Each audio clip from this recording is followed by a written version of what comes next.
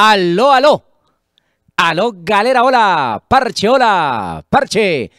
Abrazos bien grandes, se les quiere de gratis y qué bacano estar acá con ustedes, junto a ustedes, para hablar de un montón de cosas. Llega don Julio Abuelito Comezaña al Deportivo Independiente Medellín. Rafael Dudamel al Caleñazo, ¿ve? Osorio, ¿se va para Egipto? ¿Va a dejar tirado a la América? Mamita querida, diría el Mañoli. Y las caleñazas del Deportivo Cali han bailado salsa. Bailaron las caleñas, son como las flores, en el Estadio El Campín, en la primera final del fútbol femenino. Todo esto gracias a OneFootball, la app que es solamente para futboleros. Yo la tengo acá y la final del fútbol femenino la seguí en OneFootball. Ah, es que yo, yo donde sigo el fútbol colombiano y el fútbol del mundo, en OneFootball. ¿Ah? Es una berraquera. No me hace falta nada. La programación, los horarios, las nóminas, las previas, antes de los partidos, los partidos en vivo, después de los partidos, los goles, los resúmenes, los análisis míos. Usted los encuentra ahí en OneFootball. Análisis especializados del fútbol colombiano, del fútbol del mundo, todo regalos, suculentos regalos. Hace poco entregamos con OneFootball en este canal una PlayStation 5 y vienen mejores cosas. Siempre vienen mejores cosas y por ahora es gratis. Así que descárguela. Por ahora es gratis. No sé, después la van a cobrar seguramente porque todo lo bueno lo cobran. Eh, pero por ahora es gratis. Así que descárguela y aproveche ese gangazo. Añañay, que está de gratis. OneFootball, la app que es solamente para futboleros. Y usted la puede descargar fácil y rápido. Y es seguro además. Cero spam, cero virus no le roban su información. No, no, no, no, no, no, no, no. Eh, ahí en la descripción de este video está el enlace, pincha y descarga o escanea. Mientras ve el video, escanea, código QR, ahí lo ven en pantalla y la descargan. Listo, OneFootball, la app que es solamente para futboleros. Arranquemos por las mujeres, primero las damas decían eh, en, la escuela, ¿no? Los profesores nos enseñaron primero las damas. Bueno, primero las damas. Hablemos de la final del fútbol femenino entre las Caleñazas B y el Santa Fe. Oiga, 4-1, mamita querida. Final definida. Título ya cocinado a favor del Deportivo Cali. ¿Ustedes qué opinan? O Santa Fe lo puede dar vuelta? Es la primera pregunta para que empecemos con la interacción. Así que opinen, los quiero leer ahí en la caja de comentarios. Un like si les gusta esta vaina, si no, un dislike. Ustedes saben que nosotros no nos enojamos. Bueno, a ver, final definida o Santa Fe todavía tiene chances. ¿Mm? ¿Qué opinan? Yo les voy a dar mi opinión. Antes les hablo del partido. Oiga, Deportivo Cali, equipo bien trabajado, ¿ah? Bien trabajado por John Ortiz, ¿no? Es que se llama el técnico del Deportivo Cali. Toma tu like, viejo John. Tiene bien trabajado el conjunto azucarero. Y es un equipo con mucho power, con mucho poder, con dinamita en las áreas, donde se definen, donde se definen los partidos, nada más y nada menos. En propia puerta, Sepúlveda, mamita querida. Mm. Tremenda arquera. Además que tiene cancha, tiene experiencia, tiene categoría, tiene recorrido. Sandra Sepúlveda. Y en el frente de ataque, uy, ¿qué tal este par? Ah, Linda Caicedo, mamita querida, qué diablilla, pero qué diablilla. Y Manuela Paví, uff, qué jugadora esa 10, ¿ah? Tremendo talento tiene el Cali en ataque. La verdad es que me deleité viendo jugar a estas chicas en el frente de ataque del conjunto deportivo Cali pero tremendas. ¿A qué talento? Además, Santa Fe le dio toda la papaya, ¿no? Una defensa muy lineal, muy lineal y adelantada. Era pelota a la espalda y chao. Las destrozaron con esos balones en profundidad las jugadoras del conjunto deportivo Cali. Pero no solamente el Cali tiene poder en las áreas, ¿no? Es un equipo bien estructurado. Dese cuenta que cuando el partido se pone 4-1 y Santa Fe ya pone todo para intentar descontar y que la diferencia no fuera tan larga, pensando en la revancha, el Cali trabajó el partido, el Cali cancherió el partido, el Cali sufrió el partido desde el punto de vista colectivo, supieron sufrir, ajustarse atrás, trabajar, guerrear, pelear, competir, disputar y se llevaron tremendo resultado. Son tres goles de ventaja, aunque ojo, en fútbol femenino, tres goles de ventaja pueden no ser ventaja porque así es el fútbol femenino. Digamos que las fluctuaciones en cuanto a los niveles motivacionales varían bastante o pueden variar, ¿no? Aunque la verdad uno ve en el Cali un equipo muy sólido, pero muy sólido, pero ojo, Santa Fe es un equipo de experticia. Santa Fe tiene jugadoras grandes. Santa Fe no es cualquier pintado. Hoy ha tenido una, como diría la Cookie, arraraza noche porque fue terrible. No le salió nada ni en defensa ni en ataque. Un equipo sin reacción pero ya con varios días de descanso, tomándose un respiro, haciendo autocrítica, lavando la mente, yo creo que Santa Fe puede ir a dar la pelea en Palma Seca. Está linda la final y para mí está abierta, aunque el Cali es un equipazo. Tiene con qué sostener la ventaja, incluso ampliarla, porque es tremendo equipo. No sé cómo esté Pavi para la final porque salió con, eh, con el tobillo hinchado. Eh, pero el Cali tiene evidentemente con qué sustentar la ventaja, con qué ampliar la ventaja, porque es un gran equipo y tiene grandes jugadoras, grande y gran soporte también desde lo colectivo. Pero Santa Fe, yo al Santa Fe lo respeto. Yo al Santa Fe lo respeto y no daría por ah, finalizada esta gran final y no daría por cerrado el título a favor del Deportivo Cali. Las caleñazas, ve, que bailaron, bailaron salsa, mamita querida en la cancha del Campín. Evidentemente la jugadora del conjunto Deportivo Cali. Está linda la final. El próximo fin de semana se define entre Santa Fe y Deportivo Cali en Palma Seca. El Cali con una ventaja enorme, enorme, la que ha sacado el conjunto azucarero, bien dirigido por John Ortiz. Toma tu like. Toma tu like. Opinen ustedes, ¿lo da vuelta el Santa Fe? ¿O el Cali ya se echó la copa al bolsillo? ¿Ah? Los leo, las leo ahí en la caja de comentarios. Segundo tema. ¿Qué le pueden aportar Rafael Dudamel al Deportivo Cali? Y don Julio Abuelito, como yo le digo cariñosamente, don Julio Abuelito Comezaña, al poderoso DIN. A ver, echemos, echemos aquí cabeza, a ver, elucubremos. ¿Qué le pueden aportar? Porque la gente, el hincha lo que quiere es que estos señores lleguen y le aporten a sus equipos, ¿o no? Le pregunto al hincha del Cali, al hincha del DIN, hincha del Cali, ¿qué le puede aportar Dudamel?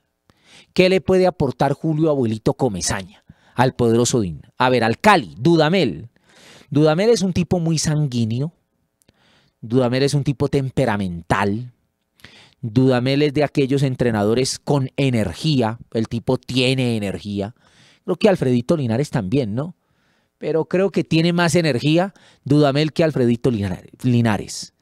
Eh, Dudamel, a diferencia de Alfredito Linares, es quizá eh, más precavido eh, Alfredo Arias era un técnico muy agresivo, muy ofensivo, buscaba los partidos, incluso se descompensaba atrás. Yo creo que Dudamel es más medido y se ajusta más a las circunstancias. Si el equipo tiene que atacar, pues va y ataca. Pero si el equipo tiene que meter una retranca, va y la mete. Le vimos muchos partidos así con las diferentes selecciones de Venezuela.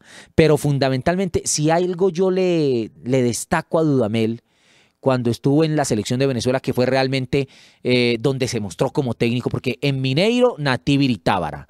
En eh, Chile, Nativiri Tábara, con más pena que con gloria. Pasó por allí, pasó, la verdad, de agache, se fue muy rápido, no pudo.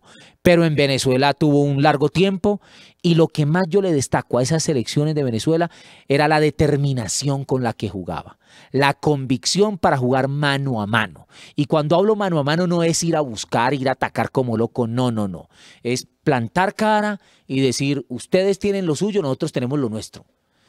¿Y qué es lo nuestro? Por momentos, defensa ultranza, defensa ultranza, pero con berraquera, palabras más, palabras menos. De pronto, eso necesita el Deportivo Cali, aunque yo veía un Cali muy eléctrico, yo veía un Cali eh, intenso, yo veía un Cali competitivo con Alfredito Arias, la verdad nunca vi un equipo achicopalado, derrotado. Bueno, el año pasado, ya cuando lo goleó Vélez y lo eliminaron del campeonato, ahí lo vi que bajó los brazos. Pero en este campeonato, la verdad, no, no, no había visto un Deportivo Cali, o no he visto un Deportivo Cali achicopalado palado, bajoneado, caminando sin energía, sin espíritu, no, al contrario, se le veía dele y dele y dele, así no pudiera. Creo que eso le puede aportar eh, desde lo táctico una estructuración defensiva mucho más fuerte, mucho más férrea, mucho más eh, robusta eh, y, desde, y desde, la, desde lo actitudinal, temperamento, porque evidentemente eso es lo que transmite Rafael Dudamel. y es un técnico nuevo por lo menos para el fútbol colombiano. Por lo menos para el fútbol colombiano. Lo conocemos, sí. jugó aquí, dirigió a Venezuela, pero en el fútbol colombiano no ha dirigido. ¿Y qué le puede aportar Julio Comesaña al poderoso DIN? A ver, Julio Comesaña es una persona experimentada como el bolillo. Julio Comesaña es un buen manejador de grupo por su experiencia, su experticia en el manejo de seres humanos, eh, en el manejo del personal el bolillo también. Entonces no, estoy encontrando por ahora diferencias, ¿no? Julio Comenzaña en su modelo de juego, yo creo que él es muy básico, él no se pone con, con cosas pues sacadas de los cabellos, ni cosas muy revolucionarias. No, él es muy básico, muy normal. No le llamemos básico, porque dice uno básico, entonces eh, después dicen que es que lo estoy menospreciando. No, normal, normal, muy clásico, más bien, esa es la palabra, clásico, clásico. Es muy clásico, así como el bolillo, muy clásico. A ver, ¿qué hay de diferente entre el bolillo y Julio Comesaña? Más allá del nombre, de la cara, del pelo, eh, de la edad, eh, no encuentro. La verdad veo dos técnicos muy parecidos. Porque también creo que don Julio Comesaña no tiene una metodología como para, que ya se los había contado, ayudarle a crecer, a mejorar a muchos de los jugadores que tiene el DIN que son incompletos y que tienen muchas deficiencias. Y además, la verdad es que don Julio Comesaña ya no está para eso. Eso es para gente joven y con energía. O sea, ir allá a un campo de entrenamiento, ir a un campo de entrenamiento diseñar sesiones que le ayuden al jugador a mejorar su performance condicional, cognitivo, técnico, socioafectivo. Yo, eso es para gente, la verdad, gente joven. Y no es que esté menospreciando, ojo, la edad de don Julio, no. Pasa que eso demanda mucha energía, eso demanda vitalidad. Créanlo, créanlo, créanlo. Y eso es lo que necesitan muchos de los jugadores del Medellín. Yo ya les he explicado eso, ¿no? Entonces yo no sé si don Julio Comesaña tenga esa energía, tenga esa vigorosidad, porque seguramente como manager sí. Julio Comesaña como manager sería genial. Pues un tipo con conocimiento, con experiencia, con experticia, que con una decisión, que simplemente con el observar algo y, y tomar una decisión puede cambiar el rumbo, en fin. Pero repito, para mí el Medellín está en otra cosa. Los jugadores que tienen la herramienta, el insumo que tiene el Medellín necesita otra cosa. Necesita un técnico que los convenza. Necesita un, pero convencerlos para trabajar.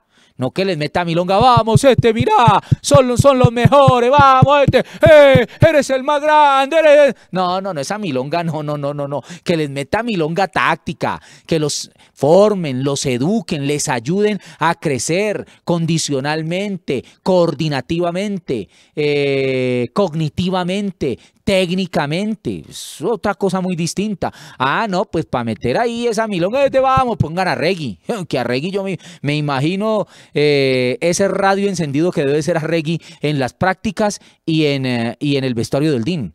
No, no, no, no, no, no, no, no. Estoy hablando de estructura, estoy hablando de, de, de, trabajo de carpintería, estoy hablando de otras cosas.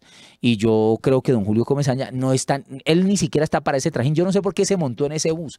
De pronto por las ganas de volver y porque se tiene fe y se tiene confianza y dice, bueno, vamos a ver, de pronto hago algo pero pues yo no veo a Julio Comesaña, la verdad, allá tira, metiéndose al barro y puliendo, puliendo, puliendo y moliendo y trabajando y puliendo y puliendo a los jugadores del Medellín.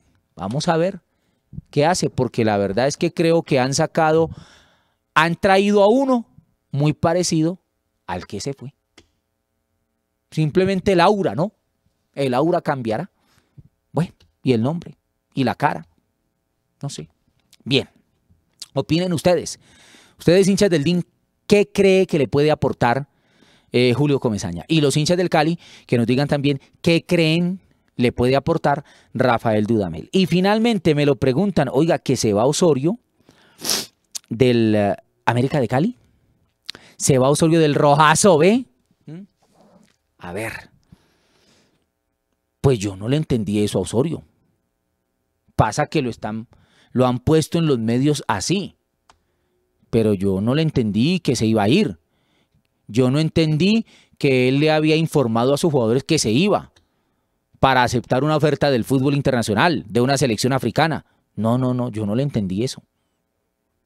Lo que yo entendí es que él está hablando en un contexto. ¿Cuál es el contexto? Le hacen la pregunta, que cómo está la situación, que la hinchada se mete con él, que esto y que lo otro, y el hombre dice, vea, cuando yo me vaya, si me echan, primero, no voy a pedir indemnización.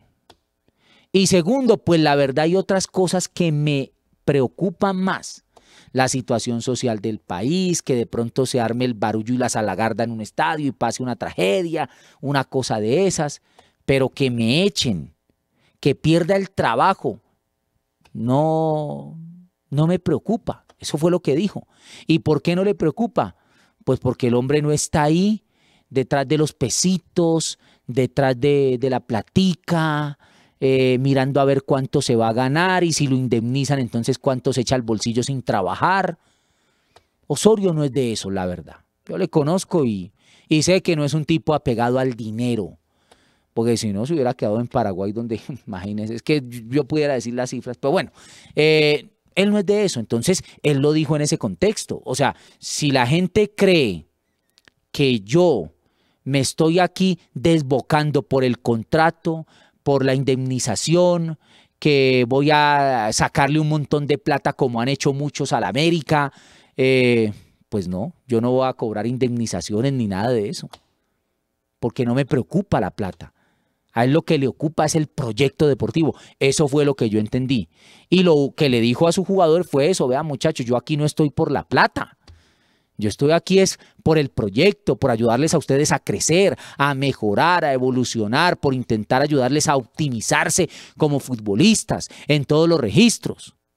Pero no es que les haya dicho, muchachos, yo me voy a ir, no voy a seguir en este proyecto con América de Cali, eh, ya van a conseguir otro técnico y me voy porque me ha llegado una oferta de una selección, eh, de una selección africana porque pues él les dice eso para que se den cuenta que él no está detrás del dinero. Y estoy convencido que hasta Osorio les mostró la oferta y la cifra a los jugadores, que debe ser una cifra importantísima, porque por allá en el Medio Oriente, Egipto y esa vaina tienen plata, y plata a la lata, en dólares. Entonces seguramente hasta les dijo la cifra, vean muchachos, a, a mí en América me pagan esto, y allá me van a pagar esto. Imagínense, pero no, no me voy por la plata, es que no estoy por la plata en esto. Estoy es por convicciones, por proyectos. Eso es lo que me preocupa, el proyecto. Lo que no quiero es que vaya a pasar una cosa delicada en un estadio porque ya la gente se metió y tuvo que salir el SMAD y los jugadores y toda la vaina. Entonces, en ese contexto, pues no que él haya dicho que se va a ir, no, ya pues si lo van a echar, pues que lo echen. Yo le repito, a mí no me afecta, ni me beneficia ni me afecta si Osorio está o se va de América, si lo dejan o lo echan. Yo lo único que he tratado de hacer aquí en este espacio es defender y lo defenderé el proyecto de una institución, no a Osorio. No me interesa defender a Osorio. No me importa, me vale un bledo y cinco defender a Osorio. Lo que quiero defender es el proyecto de una institución. América se ha ido por ese camino. Esa fue la milonga que nos vendieron, un proyecto, y yo eso lo apoyo porque creo en el trabajo, creo en los procesos, creo en los proyectos como camino para engrandecer a las instituciones y que le permitan al fútbol colombiano y a nuestros clubes, a los que queremos, poder competir mejor a nivel internacional y evitarnos las vergüenzas últimas en los torneos continentales, donde no pasamos ni siquiera de la primera ronda, porque ni plata, ni proyectos, ni nada, ni trabajo, ni nada. Eso es lo que yo defiendo. A Osorio no le defiendo. Si a mí alguien me llega y me dice, oiga, es que Osorio no trabaja, es un baguete. Los jugadores llegan, no hacen nada, el tipo ni siquiera va a entrenar, el tipo no prepara sus sesiones. Yo le digo, ah, no, ahí no hay proyecto de nada. Don Tulio, hay que echarlo. Está perdiendo usted la plata y están metiendo milonga con el proyecto. Porque pues, les digo, mi intención aquí no es defender a Osorio. No, me vale cinco. Me vale cinco. No me afecto ni me beneficio. Tengo que trabajar todos los días. Esté o no esté el señor Juanca, tengo que esforzarme todos los días. Tengo que moler todos los días. Esté o no esté Osorio en el América de Cali. No, yo lo que sí quiero es intentar desde este espacio proteger el proyecto de América. América nos ha dicho que se ha ido por ese camino. Bueno, hay que ayudar porque ese es el mejor camino, créanlo. Yo creo en el trabajo, creo en los procesos, creo en el tiempo, creo en los proyectos, creo en la dedicación, creo en el trabajo con denuedo como medio para llegar al éxito, como medio para lograr cosas. Eso es lo que yo estoy tratando de defender. Yo no defiendo a Osorio, ¿no? Que Osorio se defienda él solito. Pues creo que le, le pagan un muy buen dinero en América de Cali como para que lo estén defendiendo, ¿no? Le toca a él defenderse, ¿no? Entonces, yo la verdad no le entendí a Osorio que le haya dicho a sus jugadores que se va porque le llegó una oferta del fútbol internacional. No, es una manera simbólica o metafórica de quererles decir a sus futbolistas, o no, no, no, simbólica ni metafórica, no, porque es real la oferta que él tiene. No, es simplemente decirles, vea gente, yo no estoy en esto por la plata. Yo estoy en esto es por la gloria. Estoy convencido que ese fue el discurso. También para tocar la fibra de los jugadores. Vea, yo no estoy aquí por la plata. Mire, tengo esta oferta. No, no, no. Estoy aquí es por la gloria, porque quiero. Y también para invitar a sus jugadores a dar más y a ser mejores. Eh, opinen ustedes. Se les quiere de gratis un like si les ha gustado. Si no, un dislike. Ustedes saben que nosotros no nos enojamos. Y chao, chao, sí. Chao, chao. Chao, parche.